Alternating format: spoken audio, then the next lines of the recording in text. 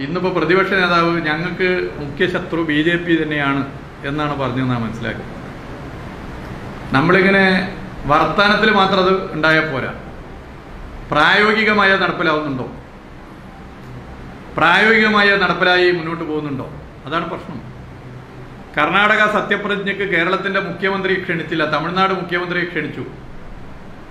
കേരളത്തിലെ U D എഫിന് നിലപാട്?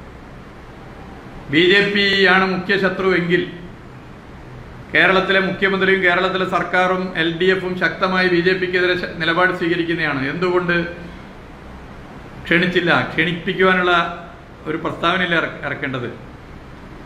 കെ പി സി സിയുടെ ഒരു ഭാരവാഹി സീതാറാം യെച്ചൂരി സത്യപ്രതിജ്ഞാ ചടങ്ങിൽ പങ്കെടുത്തതിനെ ആക്ഷേപിച്ചു. ബി ജെ പി ആണ് മുഖ്യ ശത്രുവെങ്കിൽ K P C C president അതിനെ തള്ളി പറയണ്ടേ പ്രതിപക്ഷ നേതാവും യു ഡി കോൺഗ്രസ് നേതാക്കന്മാരും അതിനെ തള്ളി പറയണ്ടേ ഒരാൾ തള്ളി പറയുന്നതായിട്ട് കണ്ടിട്ടില്ല.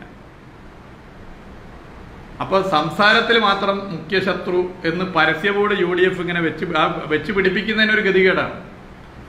ബി ജെ പി ഞങ്ങളുടെ മുഖ്യ ശത്രു എന്ന് ഒരു പരസ്യവോട് വെക്കുന്നിടത്തേക്ക് കേരളത്തിലെ കോൺഗ്രസ് നേതൃത്വം മാറി എന്നുള്ളത് തന്നെ. എത്രത്തോളം നിലപാടുകളിൽ വെള്ളം ചേർക്കുന്നു എന്നുള്ളതിന്റെ ഏറ്റവും വലിയ ഉദാഹരണമായി കാണാൻ വേണ്ടി പറ്റുന്ന കാര്യമാണ്. കേന്ദ്ര ബഡ്ജറ്റിൽ നാൽപ്പതിനായിരം കോടി വെട്ടിക്കുറച്ചു ഒരു single campaign U D F ഇതിൽ നടത്തിയോ? ബി ജെ പിക്കെതിരെ രാഹുൽ ഗാന്ധി വിഷയത്തിന് ശേഷം പാർലമെന്റിലെ രാഹുൽ ഗാന്ധിയുടെ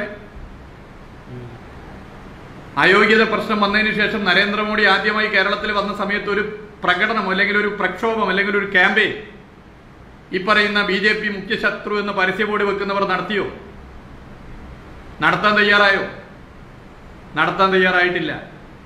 മൗലാന അബ്ദുൽ കലാം ആസാദിന്റെയും മഹാത്മാഗാന്ധിയുടെയും ചാൾസ് ഡാർവിന്റെയും ഒക്കെ തന്നെ വിവിധ വിഷയങ്ങൾ ഗാന്ധി വധം മൗലാന അബ്ദുൽ കലാം ആസാദ് ചാൾസ് ഡാർവിന്റെ പരിണാമ സിദ്ധാന്തം മുഗൾ രാജവംശ ഭരണകാലത്തെ മതസൗഹാർദ്ദ അന്തരീക്ഷം ഇത് പഠിപ്പിക്കേണ്ട എൻ സി ആർ ടി സിലബസിൽ എന്നുള്ള നിലപാട് കേന്ദ്ര ഗവൺമെന്റ് സ്വീകരിച്ചപ്പോൾ അത് ഈ സംസ്ഥാനത്ത് പഠിപ്പിക്കും എന്ന് സംസ്ഥാന ഗവൺമെന്റ് ചങ്കൂറ്റത്തോടെ നിലപാട് സ്വീകരിച്ചു. മുഖ്യമന്ത്രി പ്രഖ്യാപിച്ചു വിദ്യാഭ്യാസ മന്ത്രി പ്രഖ്യാപിച്ചു. ബി ജെ പി മുഖ്യ ശത്രുവാണെന്ന പരസ്യ ബോർഡ് വെക്കുന്നവർ അതിനെ അഭിനന്ദിച്ചോ? അതിനെ പിന്തുണച്ചോ?